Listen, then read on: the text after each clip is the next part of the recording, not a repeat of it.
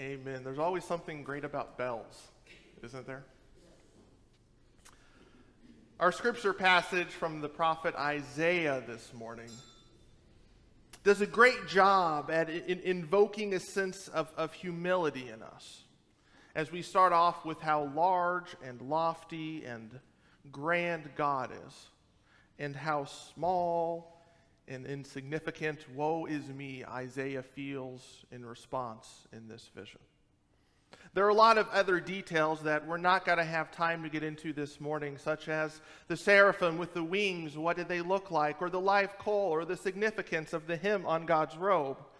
But I'll say if that interests you, I can't recommend enough our midweek Bible study where we have the time to delve in to those deeper details.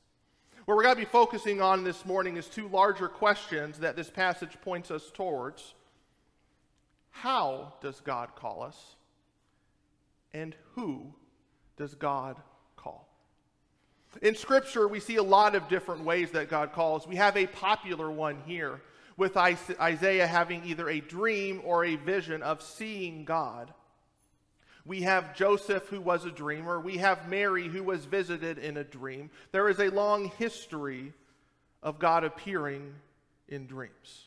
Not just in Scripture, but if you look at other religions or cultures around the world, saying having dreams or visions, sometimes aided even by different substances, is a common religious or spiritual practice. But I'd say that's not a very common Presbyterian I can tell you that I've never had a dream where I felt like that was God speaking to me in that dream or that vision. I don't know if that's because God never has, or if that's because if God did, I ignored it. Because that's not how I know God to speak. Not that God can't, but that's not the lens that I approach it. We also commonly have people being called, and again, throughout Scripture, by God speaking through other people whether it's the prophets or King David being approached. We hear voices through other human beings saying, I see something in you. I see a gift or a talent or an ability, or I see a bright future for you. We hear that and we hear God speaking through others. Yet we also have in Scripture, like with Samuel, of simply hearing a voice. A voice in the night. I have two personal call stories, if you will, or perhaps one story kind of split into two parts. My story starts, I was a high school student, a teenager. In my second year at the Logos Youth Camp in Estes Park, Colorado. It was my second year, and I learned a lot from the first year. And the main thing I learned from the first year is that if you're going to be at a YMCA campground where there are four bunk beds, and then a larger bed where there is a, a, a, a male room leader, so to speak. That between yourself and four other people, you will have at least one person who snores. Guaranteed. So I learned after the first week of not being able to sleep after that first year, the second year, I wanted to come back prepared. So I brought my brand new uh, Sony Walkman CD player and my big over the ear headphones and my CD case. And it was one night when I was listening to that music. The only way I can describe it is I heard a voice that was inside me, but not my own, telling me to go to seminary. And I can tell you that it meant something to me, as I have kept that CD case. You see where this is going?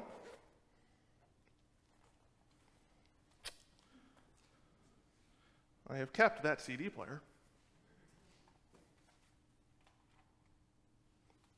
And I have kept that CD. Only rock and roll 1965 to 1969. With hits such as Happy Together, Mr. Tambourine Man, Windy, Eli's Comin', California Dreamin', Sitting on the Dock of the Bay, and a few others and having this experience and at a, an influential time in my life, perhaps you may think, rightfully so, that I would have went and told everybody. I told nobody. You might have think maybe I went and that's when I decided I was going to go to seminary and change my life course. No. I decided to ignore it. And I think that is why, perhaps, that I heard that voice, that I had that experience that I can't explain or prove to anybody. Because I think I was dense enough that I needed that to wake up. And it didn't work. So I stayed on my own career track that I wanted, doing debate in high school, going to college to major in political science. Can you guess what career track I wanted to be on? I wanted to be a lawyer. Because I grew up saying, get good grades, or hearing, get good grades, be a doctor or a lawyer, and I don't like other people's blood. So I was going to be a lawyer. So fast forward to my junior, the summer after my junior year in college and undergrad. So we're five, six years later. During a worship service at my home church that had a balcony like this, but it was a U shaped balcony that went to the back and then around to the sides. And my family, we are balcony people. So I am with you up there in the balcony. Hey, they, if you can't see up here, they all, they all lifted their hand like solidarity. And it was a U shaped balcony. And if we were in that church, I was sitting right up there. And it was during the pastoral's prayer. And our pastor, I love him to death, but his prayers were four to five minutes. As a teenager, I would time them on my watch. But it was during one of those prayers that I heard the voice again. No one else heard it, but it was inside me, but it did not feel like it was my own, saying, I'm serious, you're going to seminary. And I was scared to death. And I said, okay. And I literally stopped looking at law schools and started looking at seminary that summer. And I've been able to talk to other pastors as we'll sometimes share, you know, how did you get into ministry? I'm always a little torn on how much of those stories I share. Partly because I don't know how common of an experience it is. But partly I think it shows that, man, I had to hear it twice to be able to listen. And there are still things that I struggle with, as, as we all do but it shows that God is able to speak to us in so many different ways. And if we look at our Presbyterian polity, what does a call look like? If we go back to the beginning of the Presbyterian church to John Calvin, he says a call has to have two things to it. A call has to have internal and external. And you have to have the internal first. And the internal, whether it is an experience or a sense, perhaps if you listen better than I did, especially when I was younger, a feeling that leading, that guidance, that call, that spirit moving. Then you say, okay, internally I'm feeling something. But then the external is you need others to be able to verify. Say, I see that in you too. I also witness that. So we look at both sides of this coin as a church body and as individuals, we have to be able to listen to hear the different ways God could be calling us something internally and to be able to listen to others who are affirming those gifts in us. And we also likewise need to be affirming those gifts in others whenever we see and whenever we witness them. So that's one little bit of how God calls. Who does God call? If I say, Who does God call? and we're being honest, I know I, am certainly included in this. At some point, maybe our first internal response is, Who does God call? Please, not me. Please, not me. Who's serving on nominating committee this year? I'm going to screen their calls. Please, not me.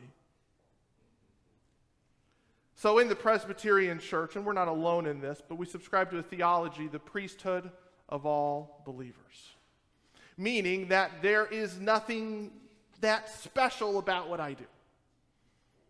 The only things I really can do that no one else is really supposed to do is the sacraments, baptism, and communion. Really, everything else I do, it, it's not relegated to only clergy. Anybody in the church is able to do it. I don't have a secret hotline that I can call God and ask God to change the weather to make it great for a church picnic. I don't have any other ability to, to read Scripture differently or to pray differently. If anything, I may have more practice at it. But that's it. So, who does God call? Whoever God wants to. And the priesthood of all believers speak that God is able to call pretty much anyone or everyone to any and everything. And if you ask John Calvin, who does God call? Calvin would have said, God calls everyone for the same purpose to glorify God. In whatever we do, in how we live, in how we act and respond and think and pray and listen, it is all to glorify God. If you look at the Greater Catechism, did anyone here ever have to memorize answers to a catechism growing up? Where you, did you all grow up Catholic? Is that probably why it was? Because that's that, right. Well, we have the Catechism in our Book of Confessions as well, but we usually don't have to memorize it. Usually in Presbyterian circles. But what's what's the purpose of man? The chief purpose of man is to glorify God. That's why we're here. So that's how John Calvin would respond. And there are a lot of different ways that we can do that. Part of that we're looking at today with our congregational meeting to elect officers. For those to be ordained as ruling elders, serve on session, or ordained as deacons, or to serve on nominating committee for next year. Part of the way we do that, looking at Stewardship Sunday, is who is invited and able to be a part of, of the ministry here, of what God is building, of how we are joining together. And it's the priesthood of all believers, it's everyone. And it's us needing to take a moment to say, maybe I need a moment of silence in my life to be able to listen to how God is calling me. Maybe when I see God calling someone else, when I see a gift, a talent, an ability, think, do I say something or do I stay quiet? Do I write that note? Do I send that text? Or do I just go, oh, they know. They already know. They may not. Or they may be waiting for that external voice to affirm what they're internally feeling. I know we can do that because I've seen it. And I've seen how loving and warm and supportive we are as a church. So I'm going to encourage you to keep going and to perhaps even go one step further. Let us be a place where we are continually lifting each other up, showing the same love and support and affirmation in a world where we're constantly being beat down. Let us be the oasis that God is calling us to be, to be able to step forward and say, Here we are. Send us. Amen.